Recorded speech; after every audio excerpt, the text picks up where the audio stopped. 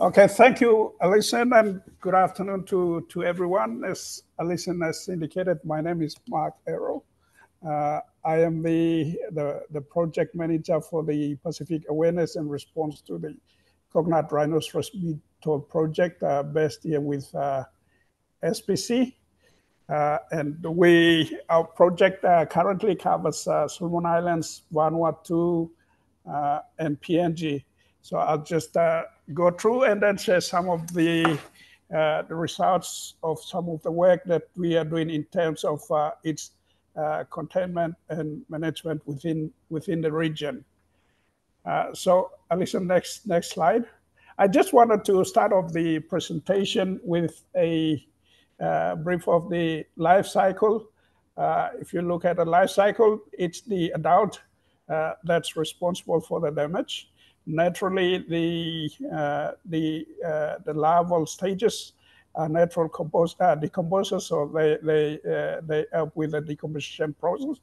Uh, but it is the the adult uh, that causes the problem, and it also lives much longer than the other stages. So once you have the other stages that are that are shorter, you keep adding to the population to to cause the damage to your palms. Uh, next slide. Okay, I just wanted to touch a bit on the haplotypes that we have within the region. Uh, we have two haplotypes, uh, which we distinguish them by CRBG and CRBS. Uh, the CRBG is resistant to the Oryctes nudivirus. Uh, that's mainly used as the, the, the classical biological control agent. Uh, so when we initially at the, the initial indication uh, in around 1901 uh, into Samoa and then spreading further on into the region, uh, the virus was, uh, was introduced and then spread within the region following the spread of the, of the beetle. and that contained the, the, the beetle. Uh, so that that's the the initial indication that we had, and that's of the other Uh, the other haplotype, uh, which we denote by CRBS, uh, that is uh, susceptible to uh, to the virus. and in terms of the, the difference between the, the two morphologically, they, they look the same. So you can't really set them, them apart by looking at the external morphological characters. Uh, you'll have to do a molecular analysis to, to, to tell them apart.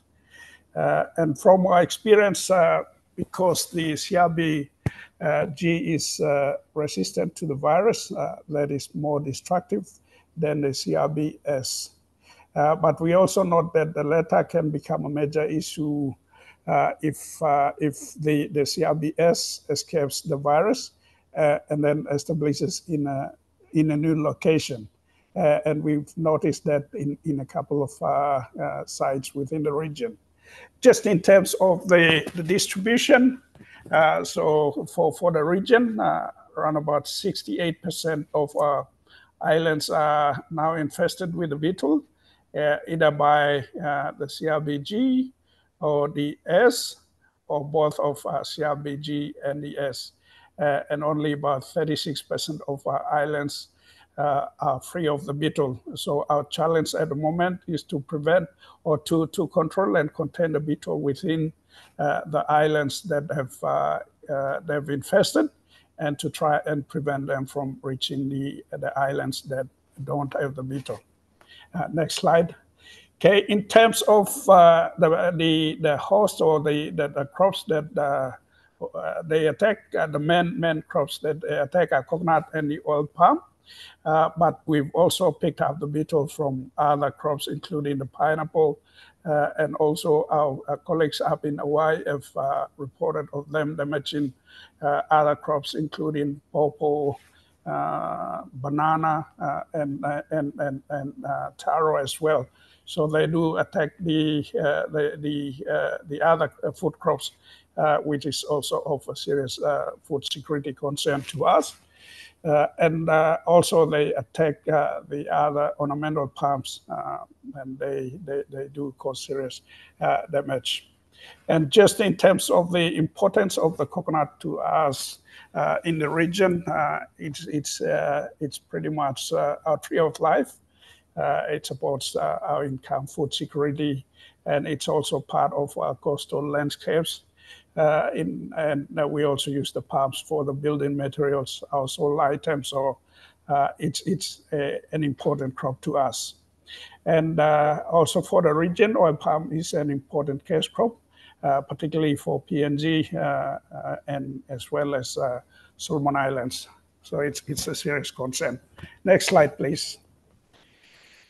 Uh, just in terms of the, the symptoms of the damage, uh, yeah, these are some of the uh, symptoms that you see from to identify the CRB damage. so the main common one is the, the, the wedging on the, on the leaflets. Uh, but you can also have uh, the, the collapse of fronds and then the, uh, the frass that you get from boreholes, uh, as well as uh, balls within the the frond the frond base as well as on the palm trunks. and in serious cases, you you end up with the, the palms dying. So these are some of the symptoms. Next slide, please. And just uh, in terms of the examples of some of the serious uh, damage that uh, uh, that uh, CRB has caused to coconuts within the region. Uh, these are just some images to, to show that. and just a comment to add to that, it can cause the, the collapse to the coconut industry within, yeah, in areas where they, they cause the damage. Okay, just moving on to uh, in terms of the management options that we are applying. Uh, as I think the other presenters have indicated, I think integrated uh, approach to management is uh, uh is more um, in order to be effective. Uh, so we use the sanitation. Sanitation is one of the, the critical uh, elements of of management. And pheromone trapping is used as part of the of, of the of, of the management strategies. we also apply metarhizium, metarhizium anisopliae. Uh, that's the, that's uh, the one that we uh, there is a commercial strain available in Malaysia, so we import that and then and apply that. The pheromone is from Costa Rica, uh, so we, we also import that. And a lot of awareness goes into uh, the management uh, program uh, so as much as possible. Uh, we'd like the communities to take ownership of the, the management program uh, so they can also assist with with with the, the, management of the beetle okay just graph just quickly shows it's from Vanuatu uh, but some of the uh, the uh, the management efforts that we have in killing or destroying the the beetles. so we we are uh, killing them in large numbers using those uh, management strategies that we have.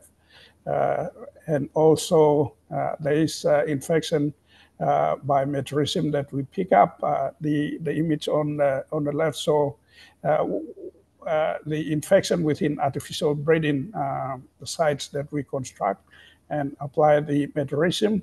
Uh, and the, uh, the, photo on the right shows uh, infection that we picked up on adults in the in the wild. So that is showing that the, the, the beetles themselves are also spreading the metarhizium in, into the wild. next slide, please. Uh, the other thing I just wanted to point out is the, uh, yes, as part of the internal quarantine program, uh, that's sort of worked well for, uh, for Vanuatu. Uh, we, it was with some resistance, but it did work well for them to contain the beetle. and that was the, the vessel inspection program. Uh, where uh, they had a ministerial order that was issued uh, for them to restrict the, the vessels uh, to, to move out of uh, the island of infestation to the uh, uh, other islands uh, in the night. So there was ministerial order that was issued for, for, for vessels not to leave by around 4.30 or before dusk. so if yeah, so they they they, they and if for those that um, or the rest to overnight and, and then depart the next next morning during the day and they also had a, memorandum of understanding with the, the maritime regulator uh, to work closely with them uh, to, to enforce this. Uh, and they also uh, developed the SOP, uh, the standard operating uh, guidelines to, to manage that operation. Uh, and the, the operation is ongoing at the moment. Okay, just, uh, yeah, next, next slide. So from this uh, operation, uh, they were able to uh, inspect uh, around 47 domestic vessels that were especially the bigger ones. and from those vessels, they were able to intercept 20 beetles, seven males, 13 females. So for the females, you expect around 100 eggs that one, one can potentially lay. So from the 13, yeah, you expecting if they do get to another island, uh, then they, they will uh, build up quickly. Uh, and also, uh, they had numerous uh, potted plants that were uh, those were that were deemed to be potential breeding um, sites for the beetles were, were confiscated and destroyed. and yeah, for them, for Vanuatu, the two of the islands uh, are mainly the coconut growing islands. So uh, with the, this effort, uh, they managed to keep the beetle out of those two islands at the moment. next slide, please. Okay, yeah, the other thing I just wanted to also highlight briefly uh, is this is uh, Vanuatu's own initiative uh, where they came, came up with the case for beetle initiative. Uh, and uh, where people were able to collect uh, beetles.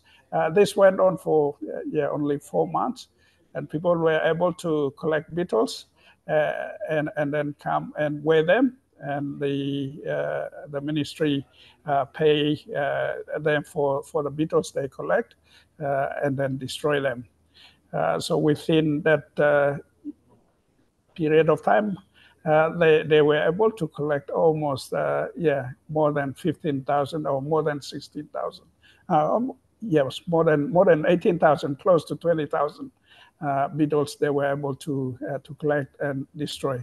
Uh, the only uh, uh, concern with this operation was uh, people deliberately breeding the beetles for for sale. but there was a lot of awareness going out that they needed to collect from the wild uh, and then come to sell uh, for, for, for cash. Okay, next uh, slide, please. okay, that one, yeah, I, I just wanted to highlight a bit also on other management options that are available. as I indicated earlier, the virus is one of the main ones uh, that has been working well for uh, for the CRB as, as a classical biological control agent, uh, but it is resistant to CRBG. So uh, our collaborator AgResearch in New Zealand is uh, leading uh, this work to try and evaluate uh, other virus strains uh, that can be able to con control the, the, the CRBG haplotype. and also in terms of insecticide, uh, as much as possible, we want to keep away from uh, insecticide use. Uh, because I think one of our, uh, our earlier presenters uh, indicated that uh, people live with coconuts. so that's our main concern. And if we are to use insecticide, then there has, there has to be a lot of monitoring that needs to be done, particularly uh, on the mature palms if you are to go down the line of uh, targeted trunk injection. Uh, but uh, what what we yeah uh, what can also be done is uh, on a, on a younger palms they can also be able to use contact insecticide to to apply and control the beetle. Next slide, please. yeah, just some photographs here. uh, just uh, it's still early days for us, uh, but particularly for the efforts that we put into Vanuatu, uh, we have uh, seen some recovery on the palms. so we we will continue with the program, and hopefully we can be able to contain the beetle and get the palms to back, back to where they used to be. Okay, yeah, the last yeah, the next uh, slide is just on the challenges. I think uh, the COVID-19, uh, yeah, that's the major challenge that everyone around the world uh, encountered.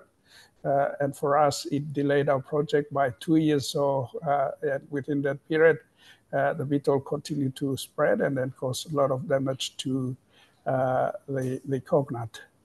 Uh, and also uh, our region is uh, prone to natural disasters. So uh, we were disturbed by uh, natural disasters uh, that include cyclones, earthquakes, and volcanoes. And also, the other challenge we face is the opposition to uh, biosecurity uh, enforcement programs. Uh, one of the example is the the vessel operators in Vanuatu when the when the enforcement was put in place.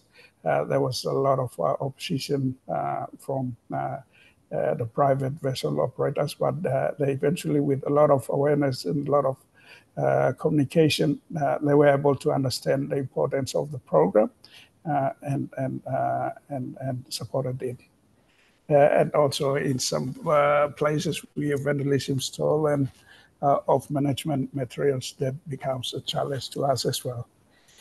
So just in terms of the conclusion, uh, I think uh, we've learned from our, our, programs that sanitation is the critical element uh, that reduces the population pressure. Uh, so if we keep at it, uh, we can significantly uh, reduce the population. but the only other thing is sanitation is quite labor intensive and it's also an expensive exercise. So we just need to be mindful of that. Uh, and uh, consistency in pheromone trapping and uh, artificial breeding site checks. Uh, that's that's uh, critical. Uh, and also the internal quarantine is critical for prevention of feather. especially we are we are a region of scattered islands, so we need to prevent the spread of the, the beetle to uh, our other outer islands through uh, internal uh, quarantine efforts. And I think that's basically it from my end. Alison? Fantastic presentation. Really liked it. Um, we've had three really great presentations. Uh, really uh, useful to see that how critical the biosecurity enforcement program and those uh, management strategies in the field and the sanitation, um, how important it is and how you're really developing sort of a comprehensive response there. Um, really very good and, and interesting. And um, I'm sure we're going to have some questions, which I'm going to look at soon. I've got a quick question around uh, CRB. For example, that, that vessel uh, program the biosecurity sort of stopping vessels leaving at night, for example, and then investigating if they've got uh, potential risky things on board. Um, and I think you they destroyed 20 coconut rhinoceros beetle. They, they found 20 of them. Is how many do you think though that there could be on a vessel? I mean, is 20, do you think it would only be 20 or do you think you could, how many do you think can escape in those sorts of yeah, programs? It's, uh, okay, the, the, the 20 were from different vessels. Uh, so if, yeah, they, they, they, were from different vessels. Uh, so what, what, what they do is uh, with this operation, uh, before the vessel leaves, they have a, an initial uh, inspection. Uh, and then if they are to overnight, then they ask them to put their lights off uh, but if on the vessels that uh, they have the lights on, uh, they also have uh, night operations uh, where the team also inspects the vessels and makes sure there are no beetles gathered around the, around the boat. Uh, oh, So they and then in the morning before the vessels uh, leave, they also do the inspection. Uh, so if you look at the numbers, if no inspection was done, then uh, uh, you would have more more beetles getting out to the because you would have more vessels that would be would be leaving leaving the, the mangrove for for the other islands. So you yeah. would you would end up getting more more beetles moving out.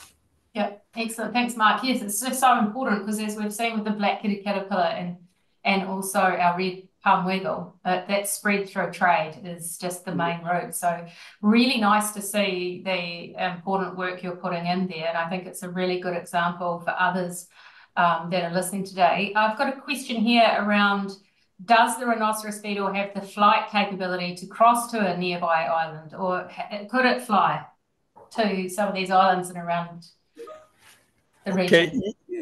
Okay. Yeah, if you are, if the the the the island is is close by, then they can they can fly. Uh, but in terms of the flight information, uh, I think there was some some uh, studies done. I'm thinking, yeah, it, it could fly around about almost 100 uh, yeah, meters. Uh, yep. So if the island is much, much close by, then you can't, it, they, they can't uh, get to fly.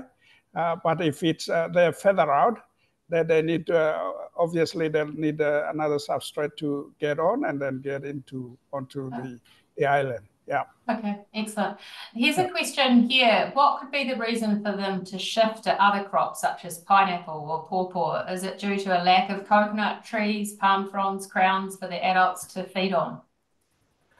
Yeah, from what uh, we've observed, especially on the pineapples, uh, that's my gut feeling. Uh, looks like uh, as soon as the, the palms, most of the palms within the, the, the, the established area are, the, uh, are, are, damaged, uh, then uh, they get onto other alternative crops to feed on. So it's, it's mainly the adults that are getting into the other crops to feed. Uh, so yeah, it will mainly have to be shortage of the the the the the, the, the main source of food. Okay, excellent. Mm, and, and uh, sorry, go. No, I was just going to add, uh, and yeah, population, eye population plays as well, plays as well. If you have a uh, lot more beetles within an area, then uh, the others start getting into other other food crops. Yeah. Yeah. Okay, good point. Just uh, one more question. You've got lots of questions, and also people can actually you can actually jump into the questions yourself and answer questions if you're an expert. Because I know that fifty percent of this room know quite a bit about coconut rhinoceros beetle when we did our poll at the start. So if you know a bit about it and you're working on it, feel free to answer some of the questions yourself. Uh, Francis, I know from the Solomon Islands, hello, from uh, the NPPO there. We really need to develop and improve a harmonised or harmonised phytosanitary measures to safeguard or safe yeah, safeguard our borders. And that's definitely the work that's happening in the Pacific. But even more so, we've got to be very, very careful. Harmonisation is really important. And that's why we're having this webinar. I think it's a great example where we're seeing um, the opportunities maybe to look between those borders between within Southeast Asia and Asia and the Pacific. So thanks for that comment, Francis.